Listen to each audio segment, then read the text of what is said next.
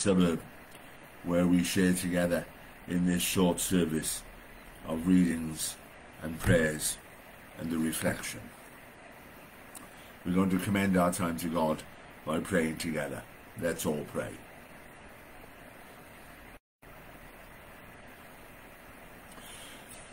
Loving God, we thank you that we can take these few moments to pause, to share ourselves with you. We come at the end of the day, a day that has been busy, in many ways crowded, a day that we've enjoyed. All sorts of things have happened today, and we thank you for them. But now we thank you that we can come and be in your presence and that we can share with you that which is on our heart. We come acknowledging our own shortcomings, sinful people, as we would describe ourselves. We know the things we've said and done that have been wrong. We need you to forgive us, to remind us that you are a forgiving God to remind us that in love you would forgive even as we confess. Forgive us our sin. Reconcile us to yourself. Grant us to know that whatever, still we are accounted as your children, and you are our Heavenly Father. To that end, bless this time that we share one with another now, and do it for the sake of Jesus. Amen.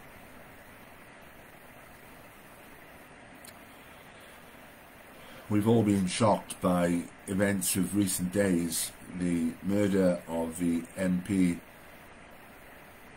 David Amess. We're sorry for what has happened. We can't believe it. Writing in the first letter to Timothy, Paul reminds us that we are to pray for those who are in positions of authority. But in the letter to the Romans in chapter 13, he sets out the Christian's attitude to the political structure, how we should involve ourselves within the body politic, what should our approach be as Christians to the affairs of wider society. This Sunday seems as good a Sunday as any for us to be reminded of what Paul wrote. The letter to the Romans, chapter 13. Every person must submit to the authorities in power, for all authority comes from God, and the existing authorities are instituted by him. It follows that anyone who rebels against authority is resisting a divine institution, and those who resist have themselves to thank for the punishment they will receive. Governments hold no terrors for the law-abiding, but only for the criminal.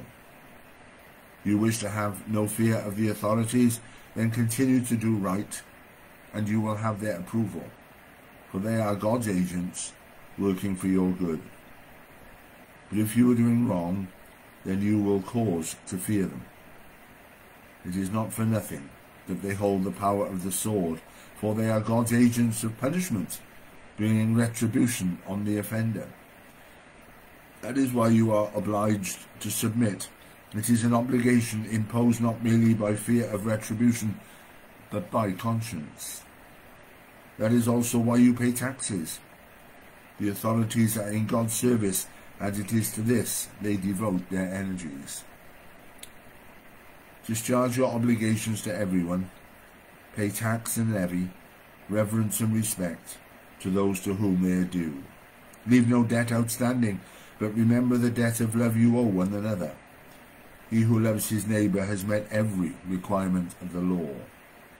The commandments, you shall not commit adultery, you shall not commit murder, you shall not steal, you shall not covet, and any other commandment there may be are all summed up in the one rule love your neighbour as yourself. Love cannot wrong a neighbour, therefore love is the fulfilment of the law. Always remember that this is the hour of crisis. It is high time for you to wake out of sleep, for deliverance is nearer to us now than it was when first we believed. It is far on in the night, day is near. Let us therefore throw off the deeds of darkness and put on the armour of light. Let us behave with decency, as befits the day. No drunken orgies, no debauchery or vice, no quarrels or jealousies. Let Christ Jesus himself be the armour that you wear. Give you unspiritual nature no opportunity in satisfying its desires. And we thank God for that word, which, if we're honest, is not easy to hear. Written many years ago, at a different time, in a different place, we find ourselves questioning something of what Paul himself said. We do not find it easy to acknowledge that government is over us by appointment from God. And whilst we live in a fairly benign democracy, there are those who find themselves living under cruel dictatorships. How is it that they can acknowledge that government is in place from God? We can't know the mind of Paul as it was when he wrote that letter. I'm beginning to wonder if it was this. Paul sensed that God would use earthly institutions, governmental institutions, to see to it that his underlying will and purpose for the world came about. That a sufficiently stable society was created within which the kingdom of God could flourish. As that kingdom took hold, as the kingdom evidenced itself in the life of the church. So the church would work with government to shape wider society, that each would influence the other. Neither would go out of the way to be critical of each other, but that if and when the moment came, they would not be slow to draw attention to the fact that there were contradictions. And yes, over time, we have seen how some governments have moved far away from their mandate, which is to facilitate the flourishing of the kingdom of God. By their choices and actions, they have denied the opportunity for the kingdom to flourish. They have suppressed it. God's will will not be thwarted. And as surely as God places women and men in authority over us, so, as appropriate, he will remove that authority. So how should we react? At a pastoral level, we should acknowledge the service rendered by those who find themselves holding political office not the highest paid job in the world. Paid far less, even those who are paid the most, paid far less than many who work in business and industry, indeed in other spheres of public service. Those who serve at a local level, who give up time and energy, sometimes voluntarily, to see to it that their local communities are ordered aright. And we are bound to acknowledge that whatever our feelings might be about our political representatives, and I've never hidden where my vote lies. One has to be honest, if I lived in the constituency of David Amess, I wouldn't have voted for him. But that doesn't stop me having proper respect for the man and the service he rendered as Member of Parliament for that said constituency. Just as where I live now, my local Member of Parliament did not gain my vote at the last election. He will not gain my vote at the next election. But nevertheless, one acknowledges the service he renders for the people he serves. And those who serve us in such capacity deserve to be safe and secure in their service. They should not be subject to risk of violence, such extreme violence as has been witnessed in these last few days.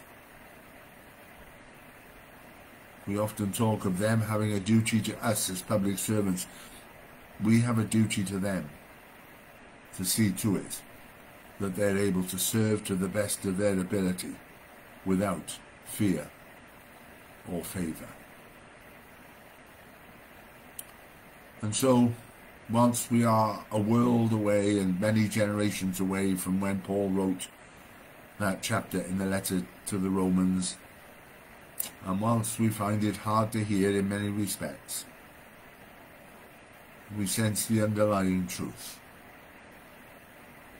That for the kingdom of God to flourish, we need to do our bit to ensure an orderly and stable society. Not afraid to call out those who govern us. If what they choose to do seems to be at odds with the flourishing of that same kingdom but at the same time acknowledging that our first responsibility is the stability of our society within which God's will and purpose is done. We commend our dear brother and friend, brother in Christ, who died so violently in this last day. We commend to God his family, his closest supporters, all who will be mourning him. We remember before God and commend to his safekeeping all who serve in similar office throughout the country, all who hold positions of responsibility, that they would retain the freedom to be the people they were when they offered themselves to serve on our behalf. Let us pray together.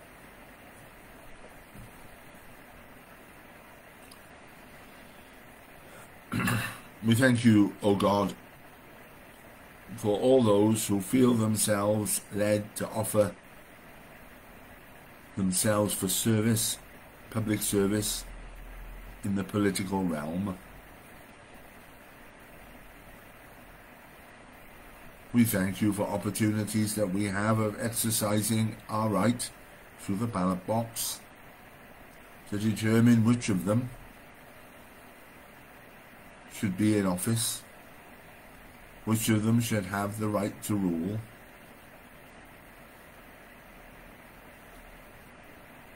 Forgive us, O God. We find ourselves so often in opposition to those so chosen.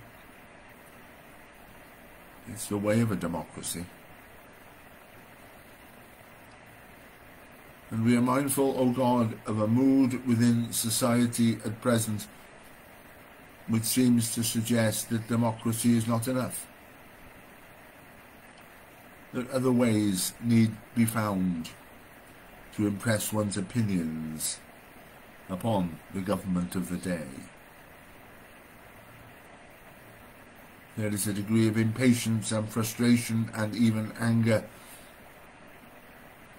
we cannot wait for what may well be a period of years before we can exercise our vote again.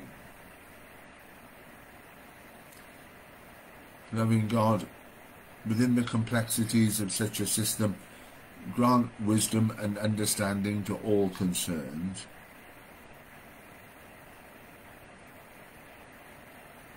grant common sense where necessary, grant forbearance, grant encouragement and blessing,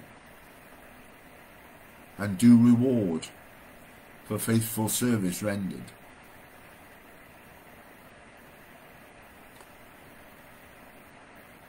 And we are bound to acknowledge, O God, that there are many places in your world where government is exercised through brute force and violence and coercion. Many places in your world where people are denied any rights at all as far as the political process is concerned. We pray for political prisoners throughout the world, those who find themselves in prison being tortured just because they disagreed with the government of the day. And we pray for the witness of your church that it would hold fast to the injunction to respect those in authority, but at the same time not to be unconditional in their support of them. We thank you for the bravery of your church and its leaders who are prepared to stand out against governments and officials who enact laws and rules contrary to your law of love. To that end, bless us, O God, and encourage us to play our proper part in society as it is. And do this, we pray, for the sake of our Lord Jesus. Amen. Thank you for joining me for this short act of worship. We'll be here again at the same time next Sunday. But until then, may God bless us all.